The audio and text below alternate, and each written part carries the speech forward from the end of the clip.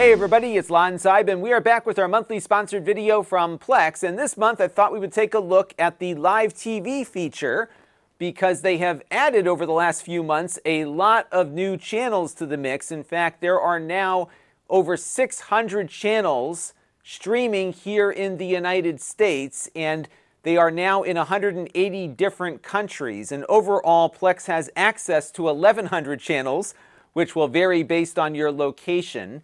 And what we're going to do in this video is take a look at how to navigate all of these channels, add them to your favorites, and also search for things. So hopefully you'll find some ways to make use of all of this content that you have access to. And before we get into this, I do want to let you know in the interest of full disclosure that this is a paid sponsorship from Plex.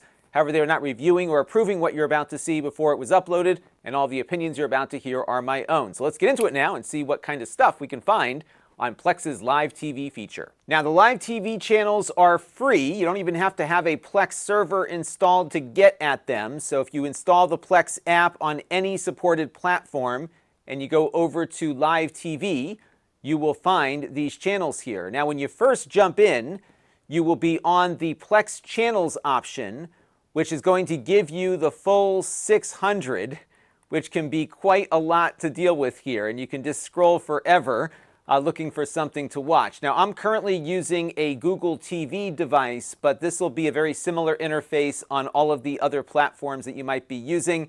And of course, this also works on mobile. So you can certainly go through the channel guide here and just scroll down looking for something to watch. But there are ways to make this a little bit more efficient.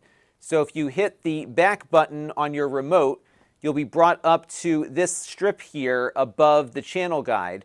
And if I jump over to featured, what you will see in this section are all of the heavy hitters. So for example, uh, they recently got the NFL free channel on Plex, so you can watch the NFL draft right now, for example. You've got Ion, CBS Sports HQ. Plex has their own 24-hour movie channel here as well. And of course, you can scroll ahead to see what's coming up. You can't record any of this stuff, but you can at least see what is coming on TV a little bit later so you can decide what to set up here in the background. Now, this is just one section because if I hit the back button up here again, I can scroll to different categories. So for example, they've got the Hit TV section here. Now, one of the features of Plex is that you can have a server running locally on your network to serve media. And one of the things that that server can do is pick up over-the-air TV signals that you might get with your antenna. And I happen to have one of those set up here. And as you can see, intermixed with some of the Plex free channels, I've got my CBS affiliate here, for example. Now, I did do a whole video on how to set up an antenna with Plex, so I'll point you at that. We're not going to cover that today, but everything does get integrated here. So as I'm scrolling through my regular TV channels, once I get to the end of those, I will start seeing the Plex free content here pop up. So you do have a great way to integrate uh, the things that you're picking up over the internet from Plex's servers with things that you might get from over the air. So if we jump back out here, you can see they also have crime channels here. So these are uh, all channels that cover crime and court cases and that sort of thing. You've got reality, news, sports. You can kind of get the idea as to how you can browse through some of these things. But let's say that I wanted to add a channel to my favorites. So for example, here's this game show channel here. And what I could do is hit the button right over Get a Clue and start watching it. But what I could do here is click on the channel and add it to my favorites. And that way, whenever I load up Plex, I can go to the channels that I want to watch more frequently so I don't have to keep browsing through all of these different filters and lists of channels to get there. And if we jump back to the tab here and go to favorites, you can see that I've got three favorites here, including the game show channel that I just added. Now, if I wanted to change the sort order of my favorites, what you can do here is just go up to the top. And what you want to do is scroll over to these three periods here. And when you jump in there, you can go into Manage Favorites. And here you'll get a list of all of your favorite channels. And if I wanted to move the Game Show Central channel up, I can just tap on it with the button here and then move it up, tap again to drop it.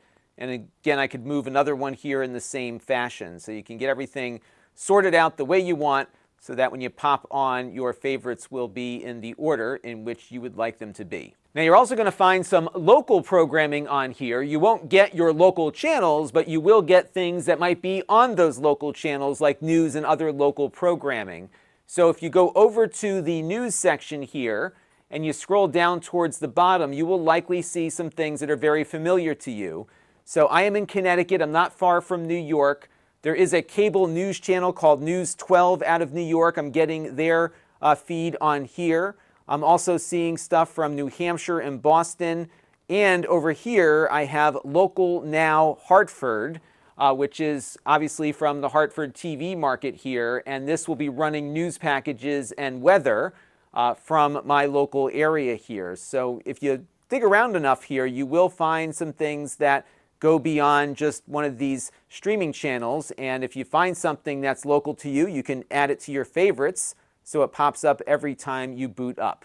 Now, recently I did a video all about Plex's Universal Search, which will look at all of the Plex servers that you have access to, but also all of their content offerings. And I just ran a search here for The Walking Dead, which is a popular TV show. And if you go over to the live TV filter here and select that, you can see where you can watch The Walking Dead on one of these live streaming channels. And right now it looks like it's on two different channels right now. I could tune into either one of these.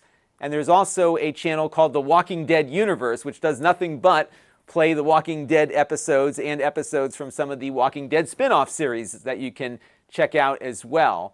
So if you are looking for something and you don't have access to it, you might be able to find something streaming live on one of these channels. Now, because everything is synced up with your Plex account, when you do add a favorite or reorder things, those changes will be reflected on all of your devices. So here I've got my phone. I can see my favorites here right out of the gate, and I can go and play back uh, those channels or any of the other things that I have access to through Plex. And additionally, if you go to your computer through the web interface, it will look very similar. I have found that the web interface is a little easier to navigate especially if you're trying to build out your favorites list because you can fit a lot more channels on screen here. It's a little easier to navigate with the mouse. And as I find some additional channels that I want to add, I can very easily uh, jump to them and hit the little heart icon uh, without having to click through anything. So if you are looking to see what's out there, I think the computer is a really good place to start. And then you can do some garden tending on your TV or other devices. So that'll do it for this update on the Plex free channel feature. They've added quite a bit over the last couple of months to the point now I think that they're leading the industry insofar as the quantity of channels available on their service, uh, with, of course, the NFL channel now being one of the big ones they just added to the mix. So take a look. You'll probably find a bunch of stuff that interests you. If you are using the antenna feature, it will integrate nicely there, and you can put everything into your favorites here to keep everything sorted. That's going to do it for this one. Until next time, this is Lon Seidman. Thanks for watching. This channel is brought to you by the Lon.TV supporters, including gold level supporters Brian Parker, Budley, Hot Sauce and Video Games, Steve Green, and Amda Brown. If you want to help the channel, you can by contributing as little as a dollar a month.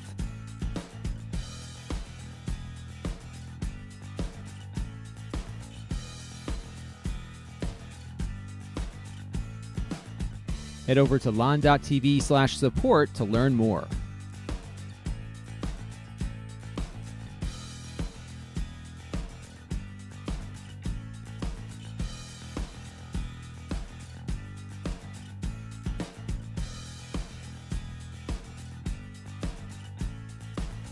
And don't forget to subscribe. Visit lon.tv slash s.